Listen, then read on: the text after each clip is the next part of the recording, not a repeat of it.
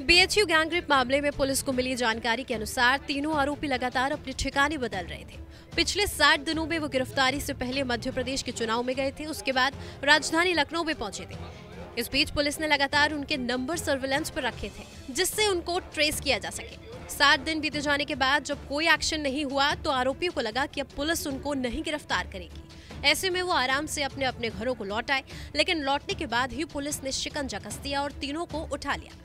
आरोपी इतने शातिर थे कि उन्होंने जाँच को भटकाने के लिए घटना के दिन प्रयोग होने वाली बुलेट पर नंबर प्लेट नहीं लगा रखी थी। लेकिन बाद में ये नंबर प्लेट लगा दी। बुलेट बाइक कुणाल पांडे की बताई जा रही है, वो पार्षद का चुनाव लड़ने की तैयारी कर रहा था। दो साल पहले उसकी शादी हुई थी, उसके ससुर पहले से पार्षद है। अब वो खुद पार्षद बनने का प्लान बना रहा था। वहीं दूसरे आरोपी अभिषेक चौहान उर्फ़ आनंद के खिलाफ मारपीट टाइप के मुकदमे पहले से दर्ज है। वो इंटर की पढ़ाई कर रहा है उसके पिता और वो साड़ी छपाई का काम करते हैं, जबकि तीसरा आरोपी सक्षम पटेल कौड़िया अस्पताल में कंपाउंडर है।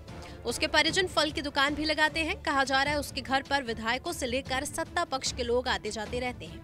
वो एक बड़े स्थानीय नेता का कुछ दिन पिए भी रहा। फ़िलहाल पुलिस तीनों आरोपियों को रिमांड पर लेने की तैयारी कर रही है। पूछताछ में कई और खुलासे हो सकते हैं। जाँच के बाद गैंगस्टर के तहत भी कार्रवाई हो सकती है। नमस्कार, मैं हूँ मानक गुप्ता। अगर आपको हमारा ये वीडियो पसंद आया हो तो इसे लाइक और शेयर ज़रूर करें। और हाँ हमें सब्सक्राइब और फॉलो करना ना भूलें, ताकि आप देश और दुनिया की कोई खबर मिस ना करें। तो जुड़े रहिए हमारे साथ और देखते रहिए न्यूज़ 24